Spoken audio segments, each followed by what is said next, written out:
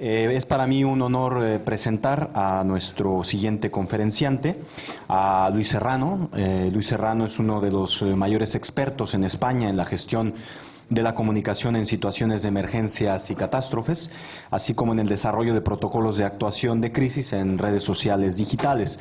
Durante 17 años ha sido jefe de prensa del Centro de Emergencia 112 de la Comunidad de Madrid, donde ha participado activamente en el manejo de situaciones eh, de emergencia tan relevantes como el atentado del 11M de Madrid, siniestros industriales, eh, accidentes, crisis sanitarias, entre otras.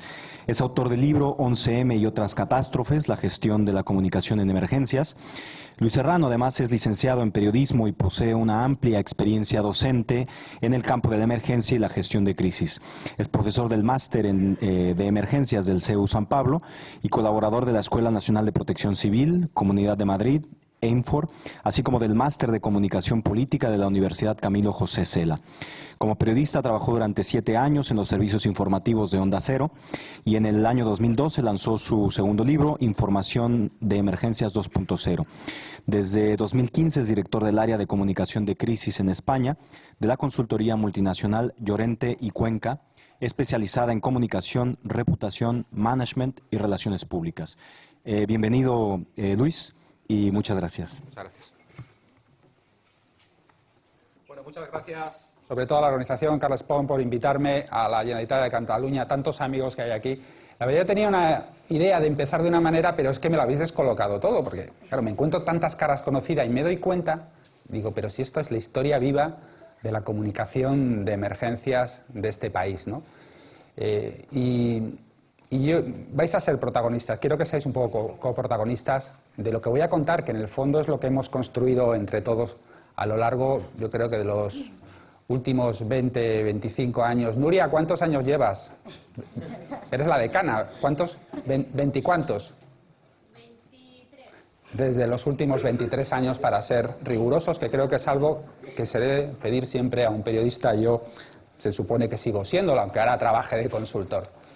Dicho lo cual, el mundo ha cambiado, vivimos el real time de la crisis y yo mi siguiente diapositiva era otra, que la he mantenido, pero de verdad, lo que voy a contar ahora no es exactamente de emergencias, es de crisis, pero, pero es que viene al pelo y no me puedo resistir a hablar de esto.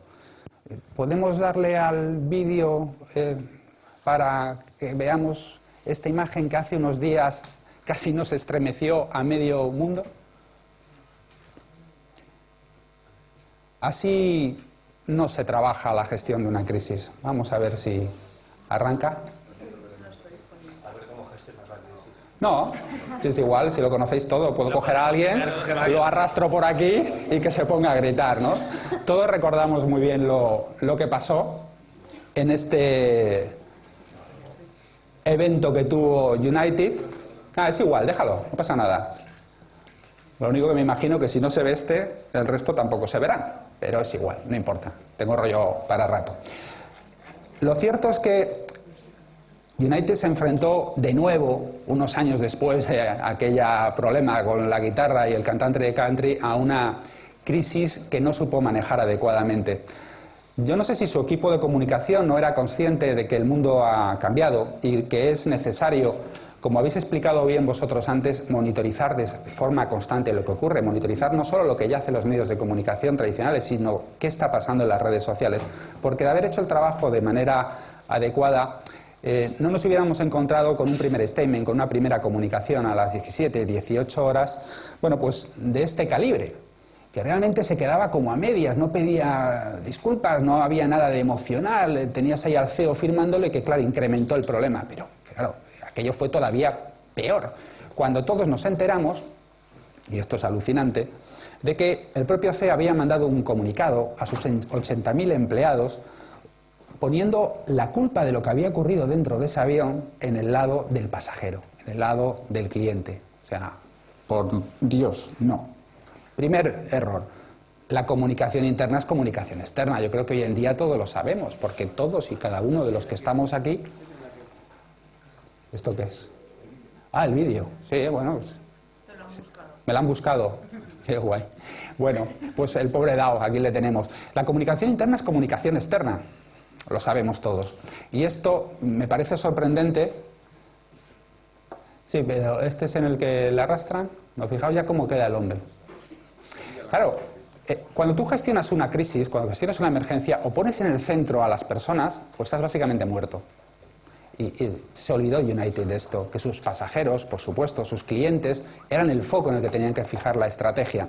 Pero también me parece sorprendente, y vuelvo a insistir, en que la comunicación interna fuera tan nefasta, porque esto incrementó y agravó muchísimo la crisis. O sea, no puedes hacer una cosa y luego la contraria, tienes que mantener eh, una lógica estabilidad en el discurso y alinear el storytelling con el story no puede ser contradictorio.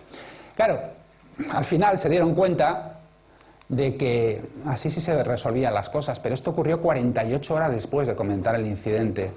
Eh, esto es inadmisible y, en fin, así no. United, así no. En cualquier caso, eh, ¿por qué se va la presentación? A ver, si me podéis poner la presentación otra vez.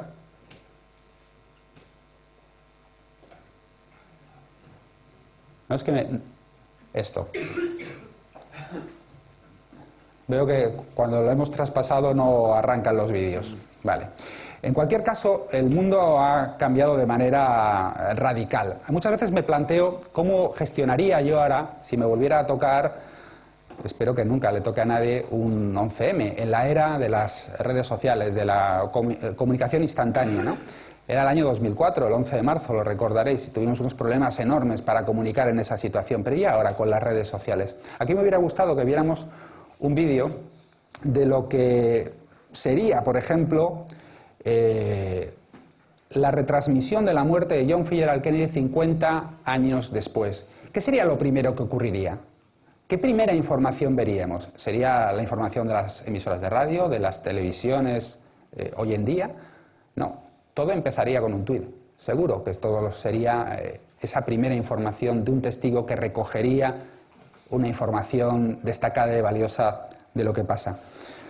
Pero además, eh, probablemente tendríamos mucha información bruta durante los primeros eh, minutos que tendría que ver con lo que ocurre, sin analizar, y a partir de la primera media hora nos encontraríamos con una gran cantidad de, bulos, una cantidad de fake. Lo hemos visto en los atentados terroristas de Niza, de Bruselas, de París, etcétera. ¿Cómo manejamos eso ahora? Es un problema enorme. ¿Cómo monitorizamos cuando nos encontramos eh, ritmos de, tweets, eh, bueno, pues como vamos a comentar ahora, de 6.000 tweets por segundo, como ocurrió en el terremoto de, Japón? Hemos pasado, por lo tanto, de esto, de la comunicación 1.0, todos nos acordamos, ¿verdad?, qué hacíamos aquel día. Todos sabemos perfectamente dónde estábamos cuando cayeron las torres eh, gemelas. Este fue el sucesor probablemente más retransmitido de la historia hasta ese eh, momento. Lo vimos en directo, acudimos incrédulos a lo que estaba pasando, eh, pero consumimos la información sin ser capaces de interactuar absolutamente con nadie. Pero si yo ahora os pregunto cuál es el suceso por antonomasia que da la bienvenida a la era digital y a las redes sociales, ¿cuál es el suceso 2.0? ¿Cuál me diríais? ¿Qué creéis? Fukushima. Exacto. Fukushima, el terremoto de Japón y el tsunami fue sin duda el terremoto que dio la bienvenida a un cambio de, era y de comunicación. Eh, de hecho, el gobierno japonés, cuando ocurre todo, no tenía cuenta en Twitter. Tuvo que abrirla. En muy pocas horas tuvo cerca de 200.000 eh, seguidores, 231.000, cuando hice esta captura. Tan importante ya se veía que eran las redes sociales que el propio Departamento de Estado norteamericano, entonces, le pidió a sus nacionales que para facilitar los contactos con la gente que pudiera estar en el país, en Japón, utilizara eh, las redes sociales, Twitter, Facebook, etcétera. ¿Por qué? Si las comunicaciones habían caído, ¿no? Decían que no se podía hablar por teléfono. Bueno, sí, efectivamente, a lo mejor los móviles estaban colapsados, pero el par de cobre, la línea, las ADSL, las casas funcionaban y se podía todavía utilizar, utilizar, por lo tanto, las redes sociales. Y esto fue muy importante y fue determinante. De hecho, recordaréis que las televisiones españolas, por ejemplo, conseguían testimonios de nacionales, de españoles a través de Skype. algo muy socorrido y que constantemente estamos viendo. Pero hemos visto muchos más casos a lo largo de la historia de la comunicación de emergencias a nivel mundial. El, ejemplo del eh, ciclón Yolanda en Filipinas. Los filipinos están muy acostumbrados a, las catástrofes, viven en una catástrofe constante y son de los eh, usuarios o de los eh, servicios de emergencia o el país que digamos que más interiorizado tiene el manejo adecuado de la comunicación de emergencias en social media.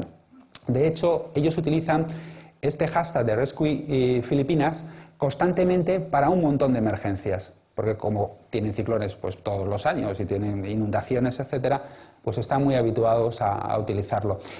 Y desde luego, si algo se ha revelado en las redes sociales es como una herramienta que, oye, más allá de los bulos y los rumores que hablaremos, ayuda sin duda a salvar vidas. Twitter y Facebook pueden ayudar a salvar vidas y lo han hecho de manera constante y sobre todo, y lo, se vio también desde el principio, también con la llegada de YouTube, nos ayuda a localizar a las personas desaparecidas, a las personas perdidas. Luego ha habido, por supuesto, eh, grandes compañías como Google, con Google eh, eh, Finder, o ahora mismo Facebook, o Twitter, que se suma con Twitter Alerts, que también se incorporan y ayudan, y como nos han explicado antes que ocurrió en Bruselas, pues ofrecen su colaboración a las administraciones en situaciones de, de emergencia. Creo que, bueno, esto es un ejemplo de cómo las redes sociales pueden ayudar. Y si para mí, mi experiencia, y bueno, lo tengo metido así en la cabeza, hay un caso sin duda interesante sobre que de verdad, por ejemplo, Twitter sirve para salvar vidas, fue el terremoto de Turquía. No sé si recordaréis el caso de dos jóvenes adolescentes que estaban sepultados bajo los escombros en un hueco de vida, que tenían Twitter geolocalizado y que decidieron pedir ayuda a través de un tuit a uno de los periodistas más famosos de Turquía. Le mandaron un tuit geolocalizado y cuando el periodista vio la mención, se lo eh, les pasó eh, el, el tuit a ACUT. ACUT es la organización más importante de emergencia en Turquía, una especie de Cruz Roja.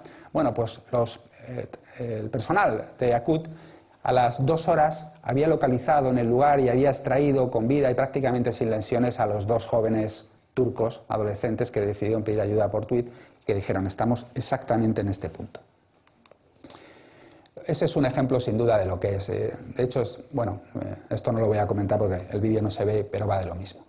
Sandy, yo creo que en Estados Unidos también ha sido uno de los casos más importantes, donde vimos al gobierno de Barack Obama diciendo aquella de nos eh, preparamos para lo peor y esperamos lo mejor, y donde vimos una magnífica coordinación entre el Estado y el gobernador, pese a ser uno demócrata y el otro republicano, y, hubo una coordinación y un uso de, la información en redes sociales magnífico. Hubo 20 millones de, tweets y la verdad es que allí quien es referencia y está manejando muy bien la comunicación eh, en emergencia, especialmente en redes sociales, es la Oficina Federal de, Emergencia. Yo creo que para todos los que eh, trabajamos en este campo siempre han sido un, punto al que mirar y al que seguir y tienen, la verdad, muy buenas prácticas al respecto y recomiendo que, les sigáis.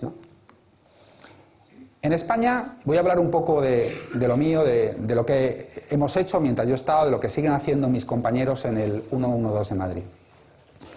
La verdad es que yo fui muy reticente durante bastante tiempo a entrar en redes sociales. En el año 2009 había Sabia Nueva en mi equipo, dos compañeros a los que aquí quiero nombrar, Javier Chivite y David García, se tiraron un año intentando convencerme de que, oye Luis, tío, hay que entrar en Twitter. O sea, y yo decía, pero eso de, Twitter o de Twenty, ¿eso que es lo de los chavales? O sea, ¿qué me estás contando? Si somos el servicio de información de emergencia referente de este país, lo estamos petando, somos los mejores y ya manejamos muy bien los medios de comunicación.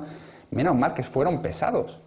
Y tal pesados fueron que finalmente el 8 de diciembre o el 10 de diciembre del año 2010 abríamos la cuenta del 112 de Madrid, que fue el primer servicio de emergencia que, la tuvo en, España.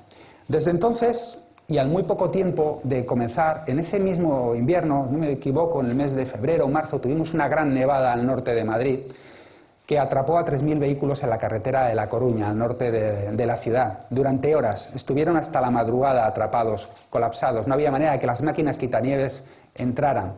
Eh, eran miles de vehículos, esto recuerdo perfectamente que era un viernes por la tarde, yo no estaba de guardia, estaba de guardia mi compañero José Ramón Santamarina, pero inmediatamente yo desde el otro lado, estaba en mi casa en Villalba, al otro lado del atasco, pues nos coordinamos. Él se puso con la información, con los medios de comunicación tradicionales y yo me puse con las redes sociales, primero en monitorizar y evidentemente me di cuenta de una cosa muy rápido y es, vamos a ver, viernes por la tarde ya no hay emisoras de radio locales, carretera de La Coruña, aquí hay pasta, seguro que llevan móviles, oye, y yo recordaba lo de los controladores de AENA, joder, si los de AENA fueron muy listos y estuvieron hablando con la gente que estaba en las colas y podían hablar con estos y claro, al hablar con, dos que tuvieran un móvil en una cola ya le estaban diciendo a los demás qué es lo que estaba pasando, ¿no? Digo, pues vamos a intentar hacer lo mismo, a ver qué pasa. Teníamos 600 míseros seguidores, no teníamos más. Acabamos la madrugada doblándolos en 1200, lo cual para nosotros nos parecía una hazaña. Y conseguimos que todos los medios de comunicación, además, nos ayudaran a viralizar el hashtag. Enseguida pusimos el hashtag Nevada en Madrid y todo el mundo detrás. Bueno, por supuesto, hablamos con todos y cada uno de los tuiteros que se dirigieran a nosotros. Hombre, tampoco teníamos muchos, eran 600, pero os aseguro que para mí fue una locura yo solo atender aquello. Y nos preguntaban, oye, ¿qué ha pasado? Estoy atascado aquí, ¿qué puedo hacer? Recuerdo uno de Segovia que me venía y decía, oye, es que, es que mañana tengo que coger el avión sí o sí en el aeropuerto de Barajas, y es que con lo que me estáis contando no voy a llegar, ¿qué puedo hacer? Digo, bueno, pues entra por la carretera de Burgos, bordea, lo ay, muchas gracias y tal. Bueno, al final, al día siguiente, los medios de comunicación pues decían, oye, qué magnífica labor habéis hecho, ¿no? Y bueno, pues nos preguntaban cosas como estas que vemos aquí en estas eh, diapositivas y nos hacían comentarios y como digo, interactuábamos con ellos. Aquel día me di cuenta de lo importante que efectivamente eran las redes sociales y con el tiempo se fue eh, confirmando pues intervención a intervención, emergencia tras emergencia. Y llegó Lorca. Para entonces yo me había apuntado dentro del ERICAN, del equipo de emergencia y respuesta inmediata a la Comunidad de Madrid, eh, como voluntario y acudí con ellos a Murcia y allí estuvimos haciendo pues lo que pudimos en, trabajando. Eh, nos asignaron el, gobierno de Murcia al equipo de rescate que teníamos nosotros, pues uno de los edificios que peor estaba, para poder apuntalarlo, poder eh, facilitar que las personas entraran en sus casas a, recoger, a recogerlo todo. Allí en Murcia, la labor a la que me dediqué, además, lógicamente, de, contar qué estaban haciendo el equipo de, del ERICA, curiosamente, claro, te venían informado, la gente venía y, te preguntaba, oye, quiero información, ¿qué puedo hacer? Es que estoy en la casa, eh, en la calle, sin, sin nada, he salido todo el mundo te veía como una referencia. Nosotros teníamos nada más que un teléfono, bueno, tres teléfonos que nos había dado de referencia el gobierno de Murcia para facilitar a la gente. Y claro, te decían, pero, pero es que si no tengo móvil para llamar y además no tengo dinero para, bueno, pues vete a gerencia de urbanismo. Hicimos lo que pudimos ahí. Pero en el plano de la comunicación en redes sociales, lo que me di cuenta es que podíamos, más allá de poner un tuit y una foto, se podían hacer más cosas. Entonces utilizamos Ustream. Ahora todos tenéis eh, Facebook Live, todos tenéis eh, Periscope, pero entonces nosotros empezamos a usar Ustream. Ustream nos permitía el retransmitir en directo desde cualquier punto. Claro, yo me di cuenta, oye, pero si tengo 3G, qué suerte tengo. Y tengo un iPhone 4, oye, pues vamos a intentar hacer una retransmisión en directo. Bueno, pues desde la zona caliente, desde debajo del escombro, con los bomberos allí metidos, pues contamos en directo lo que había y hicimos entrevistas en directo. Nos convertimos en el primer servicio de emergencia del mundo que retransmitía en directo en zona cero, que dirían los americanos en zona caliente. Esto fue en Lorca. De nuevo las redes sociales demostraron que eran muy potentes. Y llegó el accidente de Santiago en el año 2013. Como sabéis, eh, en este tren murieron setenta y pico personas, el tren iba cargado de madrileños. El 112 de Galicia, yo estaba de guardia aquel día, el 112 de Galicia no tenía cuenta en Twitter, eh, ni la tiene hoy. Bueno, la tiene, pero no la usa.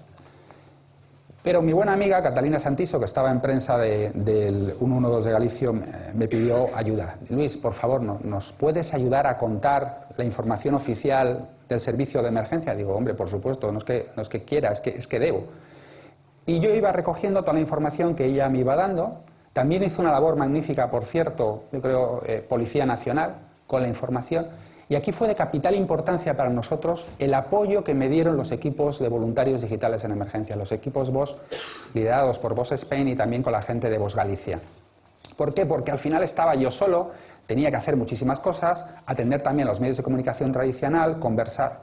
Entonces ahí el, papel de los VOS, como digo, fue muy importante.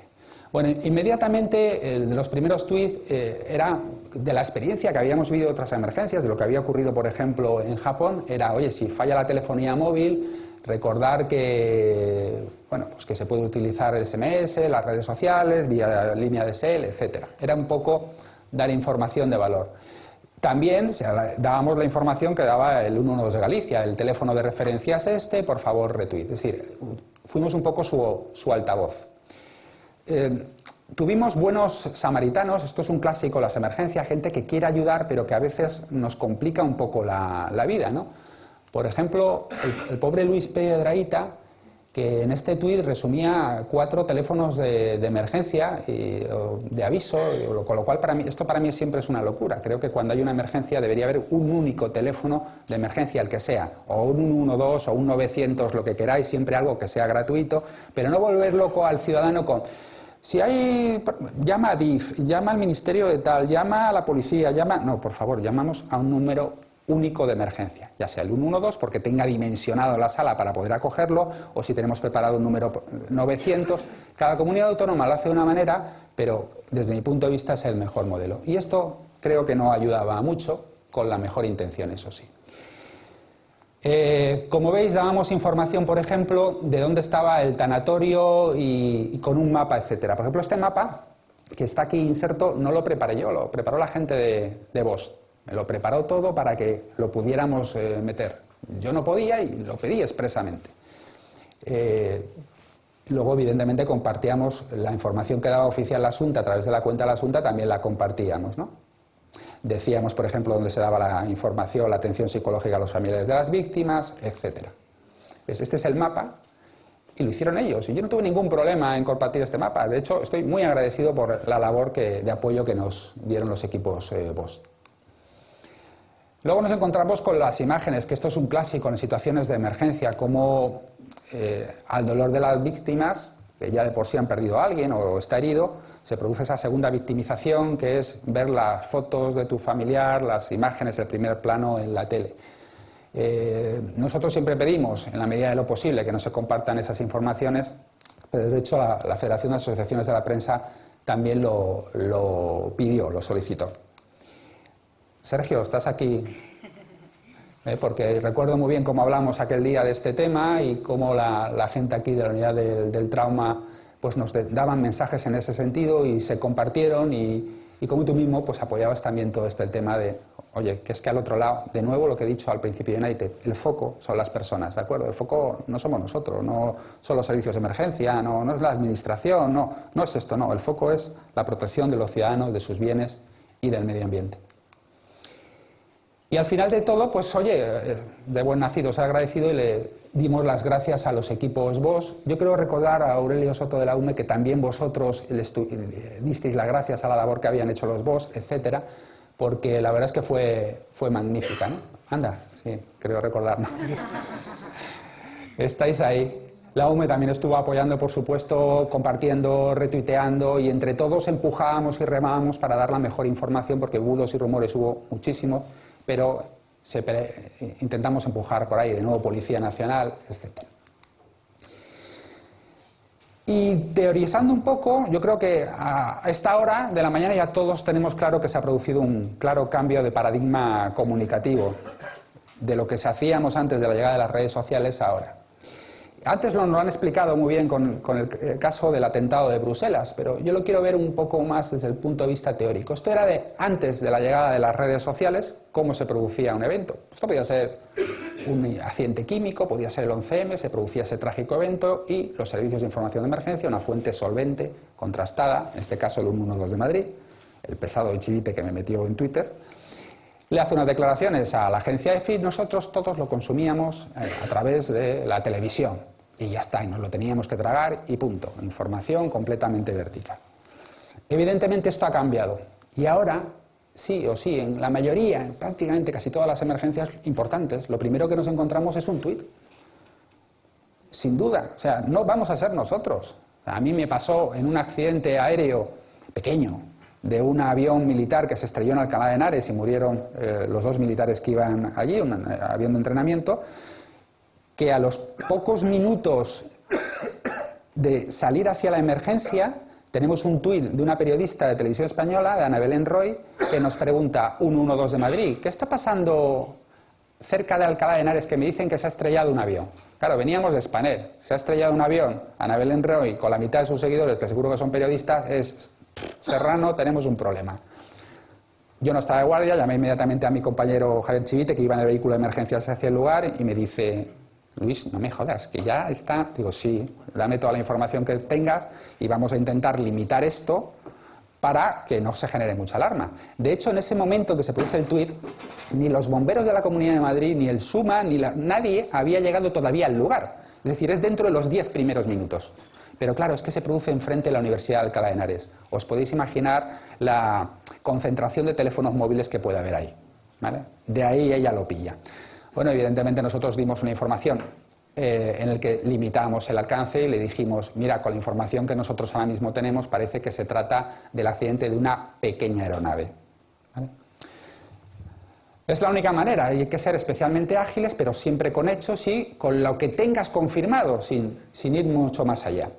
Bueno, este es el proceso. Todo el mundo habla con todo, se ha perdido el liderazgo informativo. Lo más que puedes aspirar es a mantener ese liderazgo en el día a día, en el ordinario, para ser una referencia en el extraordinario.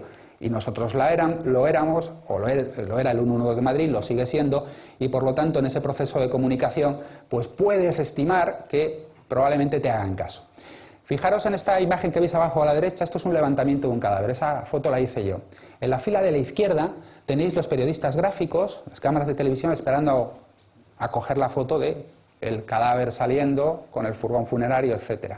Y detrás hay una segunda fila de reporteros subidos a un banco con su teléfono móvil y la pregunta es, ¿quién publica antes? Los de la segunda fila, ¿verdad? Esto es a lo que nos enfrentamos. Esta es la realidad de las emergencias. Para nada van a ser los medios de comunicación los primeros en, de comunicación los primeros en informar. Y de hecho aquí lo vimos claramente. Este es un caso paradigmático. Me imagino que todos habéis ido a ver la película recientemente, que es magnífica desde mi punto de vista, y cómo una persona que está en el ferry, este hombre que veis eh, aquí, pues consigue una de las fotos más famosas de la historia de la comunicación de, emergencias. Y esto fue la primera referencia que tuvimos de que se había producido el accidente y no fueron los medios de comunicación. Eh, el poder de la red de Twitter y, París. Aquí igual no voy a intentar ni poner el, el vídeo, pero aquí lo que se ve sería una imagen en la que vemos la explosión en los hashtags fundamentales, cómo en cuestión de muy poco tiempo se hace viral una información de, emergencia. si no te funciona ese, no te va a funcionar lo demás. ¿Ves? No. no creo que tenéis los codes o algo por el estilo. No, déjalo como está, no pasa nada.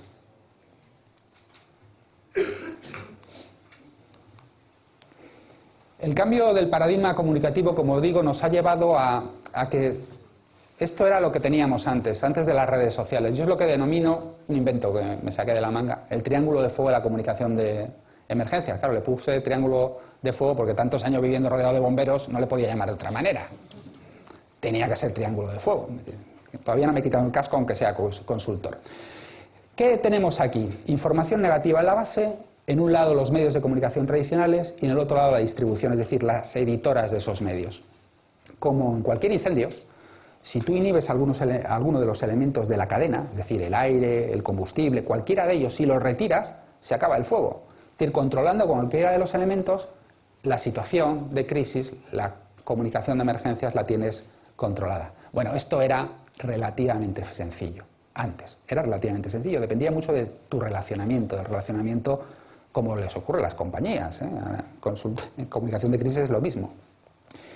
Esto es lo que tenemos ahora. Es el tetraedro del fuego de la comunicación de crisis y emergencias, en el que hay un cuarto vector aquí, que es Internet y las redes sociales. ¿De verdad creemos que tenemos posibilidades reales de controlar esto? El que diga que, es capaz de controlar esto de verdad, mm, os está mintiendo. Lo que tenemos es posibilidades de tener mayor influencia, de ser una referencia en el proceso comunicativo, de liderarlo, de conseguir aliados para gestionar esto que nos ayuden a empujar y a evitar que eh, los bulos y los rumores que se van a producir sin duda, pues hagan el daño que van a producir. Pero el control hemos perdido y no va a ser fácil recuperarlo, porque esto no va a ir para atrás. Y por esto, porque tenemos que gestionar los, los rumores. Hemos hablado del ébola. O sea, acordaros de la capacidad de la inventiva que pueden tener los alumnos del CEU en ese momento para intentar no ir a clase. O la responsabilidad que hay que pedir a los periodistas, que en general hacen muy bien su trabajo, pero que algunas veces se olvidan de algo tan esencial como que nos enseñaron a todos de las facultades. Oye, contrástalo en dos fuentes, por favor, a ser posible. No, no, no descorriendo al retweet. O sea, no te tragues esto. Aquí hubo algunos medios de comunicación como este que se tragaron que Teresa Romero había fallecido y evidentemente y felizmente pues sigue entre nosotros. ¿no? O bulos como los que vimos en Bataclan, ¿no? una foto de minutos antes de que se produjera el atentado, falsa, por supuesto. O este también, que se lo tragaron medios de comunicación de todo el mundo. En España también alguna televisión lo, metió. Eh, este pobre hombre, que en realidad sujeta, como veis a la derecha, un iPad en la mano y que por obra y gracia del Photoshop lo que sujeta es un Corán y lleva en su cintura un cinturón de explosivo. Esta foto fue viral, la vimos todos y hasta que se desmontó pasó un pequeño rato. Llegados a este punto, pues tenemos que, viendo lo que había, tuve que reformular eh, la fórmula del rumor, que hasta la llegada de las redes sociales era igual a rumor igual a I por A. A mayor importancia del asunto, multiplicado por la mayor ambigüedad de lo que estamos contando, pues teníamos un rumor más importante. Pero claro, con las redes sociales digo, no, no, a ver, esto, hay que, esto es un poco más complicado. Si tú a eso le añades la influencia del nodo, y quiero decir ahí la influencia del nodo, vamos a intentar poner un ejemplo. Imaginémonos el 11M ahora, y tenemos un bulo de que hay una explosión que se acaba de producir en la estación de nuevos ministerios. Evidentemente nunca pasó nada en nuevos ministerios. Bien. Y ese bulo lo retuitea Rafa Nadal. Es un nodo importante, con mucha influencia, porque tiene muchos enlaces, muchísimos. Tenemos un problema muy grave. Pero, Carlos, ¿estás por ahí? Imaginaros, perdona que te, use de cobaya, pero imaginámonos que en vez de darlo Rafa Nadal, se lo come arroba policía. Y retuitea arroba policía. Para esta conversación, quien más autoridad tiene es policía o Emergencia Madrid o el 112. Imagínate que cualquiera de nosotros nos lo comemos. Entonces tenemos un bulo de proporciones cósmicas, porque obviamente va a haber un número de retweets enormes y vamos a generar alarma social y yo no sé a dónde podemos llegar. De hecho, en el año 2014, estando en el TAD Granada, hablando de cómo Twitter salva vidas en emergencias, conocí al número 3 de Twitter, a Derroy, eh, arroba de Carroy, porque si le queréis seguir es un crack, y me preguntaba, oye Luis, ¿y qué va a pasar con Twitter y las emergencias y las catástrofes en el futuro? Digo, pues que tenéis un problema. Porque antes o después nos encontraremos con una gran emergencia, con una gran catástrofe, en la que habrá un bulo, un rumor que no será capaz nadie de localizar en su origen, que estallará, viralizará y por la alarma social que provoque generará aún más víctimas. Y no van a, los medios de comunicación de todo el mundo no van a poner el acento en el que sacó el primer tuit, sino que van a decir que la herramienta, que Twitter, ha matado a no sé cuántas personas. De hecho, muchas veces yo esto lo comparo con, con una presa. ¿no? Imaginémonos que tenemos en Madrid la presa del Atazar y se produce una fisura en la greta. Si estamos monitorizando y estamos encima y lo detectamos desde el primer momento que ahí tenemos un problema, pues los servicios de emergencia pueden actuar y ayudados también por los BOS van a taponar la grieta y se acabó el problema, lo tenemos controlado. Pero ¿y si no lo detectamos a tiempo y la presa revienta? Os aseguro ni, que ni con todos los bomberos del mundo, ni todos los servicios de información del mundo, ni todo el BOS del mundo lo vamos a parar. Entonces, de esto se trata. Delroy, tenéis un problema, tenéis que poner encima de la mesa una solución tecnológica que le permita a los servicios de emergencia del mundo ayudarles a detectar en la conversación, en el hashtag, con las keywords, dónde comienza el problema y poder pararlo ya nosotros a tiempo. No sé si habrán avanzado mucho con esto. Como resumen de la estrategia digital para una crisis y unas emergencias, os, os, diría, no, antes de esto. Como resumen, lo que me gustaría en este punto, porque claro, yo quería haber puesto justo detrás de esto una fotografía ¿no? de, resumen de, de, quién ha sido la historia viva de las emergencias en, en este país. Pero he dicho, pues, esto es tontería, pero ¿para qué voy a poner una foto si están aquí? Entonces, se me ha ocurrido una, es que se me ocurren muchas tonterías, se me ha ocurrido que vamos a hacer la foto aquí de los que están. Todo empezó hace 23 años con Nuria Iglesias, lo siento Nuria, por favor, ven aquí conmigo. Con Nuria Iglesias, que es la decana de los servicios de información de emergencia de este país y la responsable de prensa de Bombers de la Generalitat, a la que todos dale un aplauso, por favor, que si no la chica no, que se venga un poco arriba. Y luego hubo elementos eh, muy determinantes porque eh, la Generalitat, que sin duda para nosotros desde Madrid también ha sido una referencia, no es el Madrid-Barça, pero somos la verdad que muy amigos, ¿verdad, Marc? Eh, también fue de los primeros que se incorporó a las redes sociales y con una eficacia magnífica. Mar Omedas, ¿dónde estás? Vete para acá, anda. Vete para acá, otro aplauso para Mar. De hecho, ellos dos nos dieron un ejemplo a los madrileños de coordinación fantástica en el incendio de Lampordà, ¿lo, os acordáis? Sí. O sea, magnífico, o sea, yo, flipaba, de hecho escribí algún artículo, ¿verdad?, en mi, en mi blog, sobre lo bien que se coordinaron ambos. Pero en aquel origen intentamos conocernos la gente de los servicios de emergencia y yo sin duda para mí ya llevaba viéndola así por el rabio del ojo desde hace tiempo, miraba hacia el sur y veía a Pilar Limón del 112 de Andalucía y Pilar enseguida se convirtió en una creyente en las redes sociales. Quería entrar desde el primer día. Tuvo que luchar contra viento y marea para convencer, no lo voy a decir, pero yo puedo decirlo, para convencer a, su gobierno de que tenía que entrar. Y ahora son una referencia. Ya lo eran, pero especialmente la comunicación de emergencia en redes, eh, en redes sociales. Pero, oye, que la UME también tenía su papel y llegó un día Aurelio Soto, vente para acá, de la UME, UME Vox,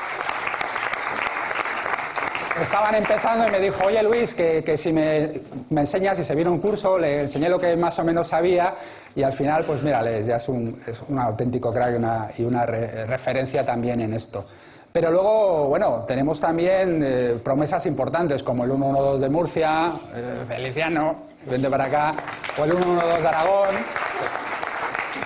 Y algo muy importante, o alguien muy importante para mí, porque yo te digo una cosa, o sea, esto es fácil, nosotros cobramos por hacer esto, somos profesionales, no tiene mérito. Quien tiene mérito es quien no cobra por esto, ¿no? Y estos son los vos. Rafa Galvez, ¿estás por ahí? José Luis Puy, por supuesto, también. Vos Spain y vos Cataluña, ¿estáis por ahí o os habéis ido? Bueno, pues Rafa, vos Spain.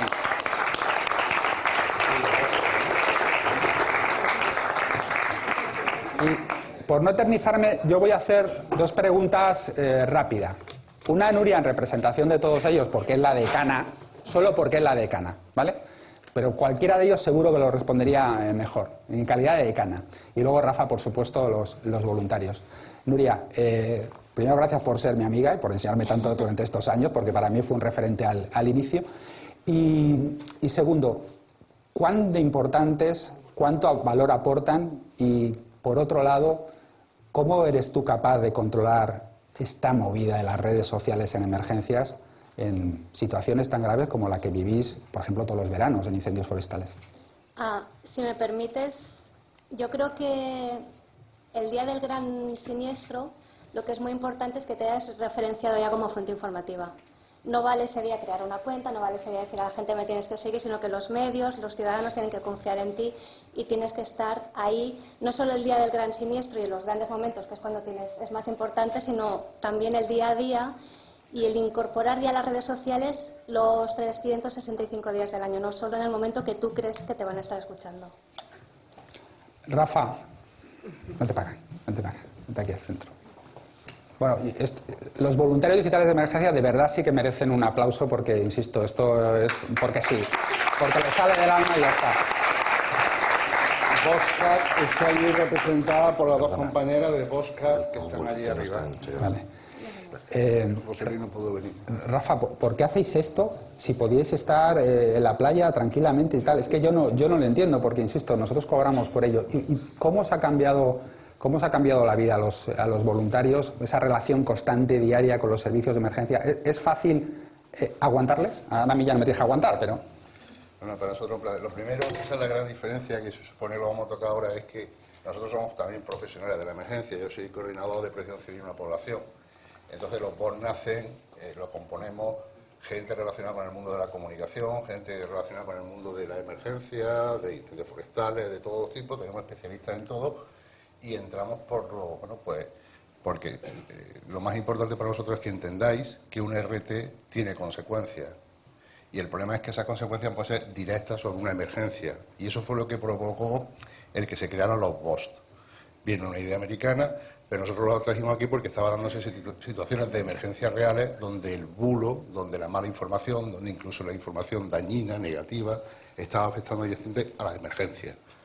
¿Y cuál era, fue el objetivo? La gente que nos dedicamos esto, evidentemente nos pusimos al lado de, los compañeros para apoyarlos, para que no estuviesen solos, para divulgar sus mensajes, para hacer protección civil en definitiva.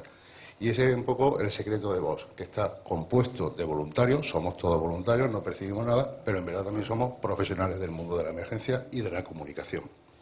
Y qué pedazo de profesionales. Yo creo que todos se merecen un, un fuerte aplauso. Muchas gracias.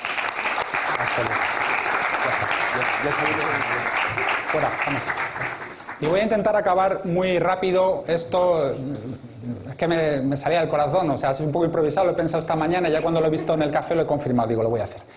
Resumen de la estrategia para la crisis. Definir bien claramente dónde vamos a ir en una situación de emergencia, tener clara cuál es la narrativa que vamos a contar, de esa narrativa derivarán todos los mensajes que queremos lanzar. Desde luego va a ser muy importante, eh, ahora no pasa, sí, el tema de los afectados a las víctimas, ponerlas, como he dicho y vuelvo a eh, recalcar, en el centro de nuestra estrategia informativa, como hizo German Weiss llevando a negros de manera solidaria el avatar, esto no está improvisado, esto seguro que estaba en su manual de crisis. Monitorizar, monitorizar y volver a monitorizar, medir y medir y medir y escuchar porque podemos detectar muchos riesgos y muchas oportunidades en la conversación en las redes sociales y porque hay que interactuar con la gente. No vayamos a la guerra sin tener un buen escudo protector y es generemos las alianzas en tiempos de paz, porque en tiempos de guerra los aliados no van a llegar. Tengamos muy claros cuáles son nuestros territorios de conversación naturales, las comunidades que hay en su seno y quiénes lideran, quiénes son los líderes de la, de la conversación, porque es mucho más fácil, teniendo el contacto con los líderes de las comunidades, contagiar en red con nuestros mensajes que intentar atacar a toda una comunidad en su conjunto sale más barato y es mucho más eficaz.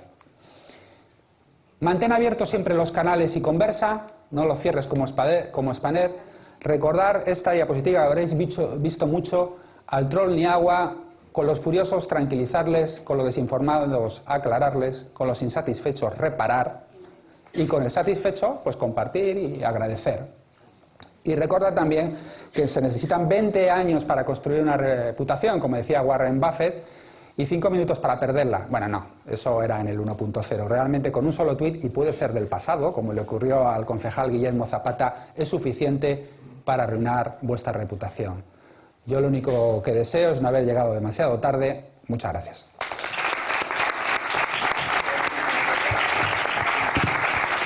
Bien,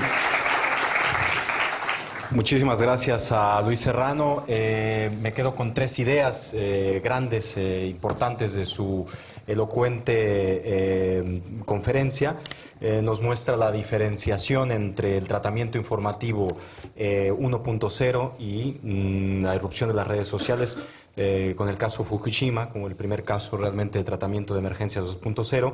Después la importancia, la relevancia de los voluntarios digitales para poder coadyuvar con las administraciones públicas para el tratamiento de las crisis y que las propias administraciones deben mantener un liderazgo informativo cotidiano para aspirar a tenerlo en eventos extraordinarios. Y estas últimas recomendaciones que nos ha dado, pienso que eh, junto con las que mm, aportamos desde la academia, eh, recomendaciones de la academia y recomendaciones del ámbito profesional, pueden perfectamente hacer un, buen catálogo de, de, ayuda para los gestores de las, de las crisis. Eh, me quedo con una frase final. Luis Serrano nos dijo, eh, con el caso de Turkey eh, Earthquake, el caso del terremoto en Turquía, Twitter sirve para salvar vidas. Y bueno, eh, abriremos el espacio para un par de preguntas porque vamos con el tiempo limitado. Afortunadamente, Luis le ahorró el trabajo a Marco Medes de presentar a los eh, integrantes de la, de la, próxima mesa, que son justo los que pasaron al frente. Entonces nos ayudó de alguna forma a ahorrar un poco de tiempo, ¿no, Marc? Bueno, abrimos eh, para, un par, total. para un par de preguntas, por favor. Sí, adelante. El micrófono. Ah, hola, buenos días. Yo quería preguntar en relación a, a los influencers que hemos hablado antes, de, de, Rafa Nadal, por ejemplo. ¿no? y, en contraposición con los trolls. No sé si existe alguna posibilidad de estos influencers que se sabe que tienen muchos seguidores, que tienen mucha influencia, ya contactar con ellos directamente, de modo que cuando haya emergencias poder utilizar sus cuentas para, para mm, difundir y que vengan a la nuestra, y del mismo modo lo contrario con los trolls.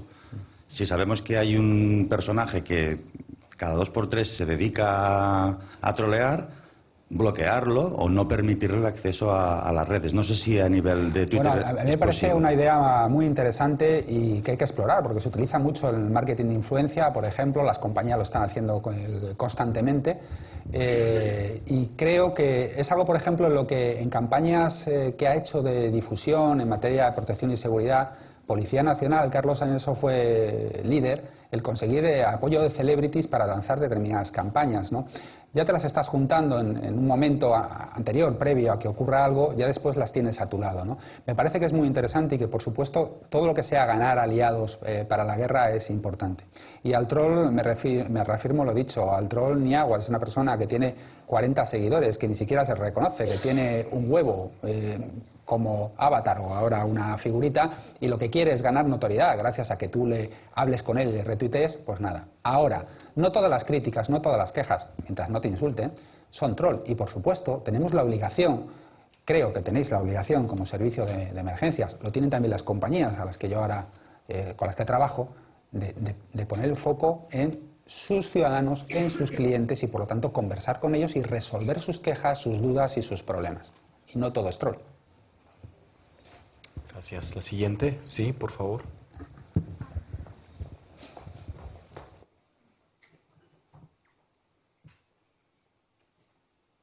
Bueno, buenos días, gracias. Eh, bueno, primero no he estado al principio, así que no sé si se habrá hablado anteriormente, así que disculpad, pero ahora mismo en España está llegando este fenómeno eh, llamado posverdad, del cual ya se ha hablado en Estados Unidos eh, durante todo el 2016. Entonces, mi pregunta es, ¿cómo vamos a combatir este fenómeno posverdad si medios de comunicación como The New York Times ya están poniendo en sus eslogans que la verdad es más importante hoy que nunca. Es decir, hay medios de comunicación que no están diciendo la verdad.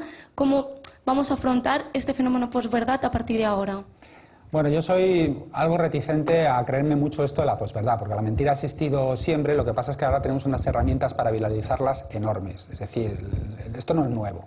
Esto de mentir ha ocurrido siempre y ya lo decían en la Primera Guerra Mundial, que la primera víctima de, una guerra es la verdad. Es decir, que no hay, no hay nada nuevo realmente, salvo que le hemos puesto un, nombre y, y bueno, pues ahora los medios están tirando por ahí. No obstante, te recomiendo, por ejemplo, que te leas, que bajes de la web de Llorente Cuenca el último número de la revista 1 que hemos hecho sobre la posverdad, donde escribe, entre otras, eh, Miriam Redondo, eh, arroba globograma, que yo creo que es la mejor especialista que hay en este país en verificación de noticias.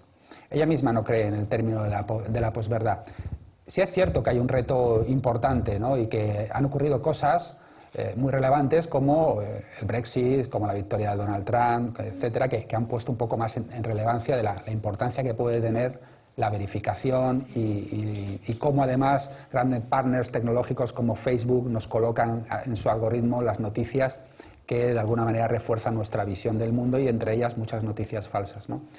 Eh, creo que en general los medios de comunicación del todo, todo el mundo, y yo espero que el New York Times también, están trabajando en, intentar mejorar esto, eh, todas las competencias en materia de verificación. Creo que en eso tienen que trabajar todos los periodistas, tienen que trabajar los servicios de emergencia, tienen que trabajar las compañías y los grandes partners de comunicación como Facebook están en ello ya también, generando incluso alianzas con eh, organizaciones como First Draft News y otras que les pueden ayudar y nos pueden ayudar a intentar ver qué es verdad y qué no es verdad. Pero de todas maneras esto también me da mucho miedo qué es verdad y qué no es verdad. ¿Quién tiene la posesión, el poder de decirme si realmente lo que veo lo es o no lo es? Esto me, me parece que puede ser también algo distópico. Una más. Ahí arriba.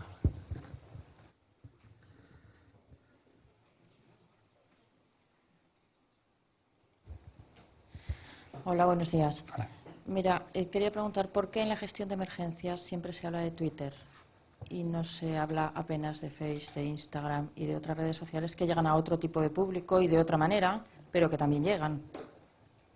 Pues mira, porque los medios de... Vamos a ver, una, una crisis o una emergencia, desde mi punto de vista, no es tal hasta que los medios de comunicación le ponen la corona. Eh, y los medios de comunicación hoy por hoy, según funcionan las redes sociales, donde van a buscar las tendencias, donde van a buscar el, granero verdadero de la información, el mercado de abasto de la información, ya sea real o no, es Twitter porque es abierto y porque es información real último minuto. ahí tenemos el real time de la crisis. En Facebook es mucho más difícil bucear y encontrar toda esa información. Eh, mientras Twitter funcione como funciona, va a ser la referencia para que coloquemos eh, la información. Y además es que es donde están todos los periodistas. Entonces, básicamente por esto. Lo que no quiere decir que no estemos atentos a las cosas que están pasando en Facebook, no manejemos también esas cuentas, no estemos en Instagram, no estemos en diferentes... Pero cada una sirve para... tiene un objetivo distinto. Y hoy por hoy Twitter es eh, la columna vertebral de la comunicación de crisis. Bueno, pues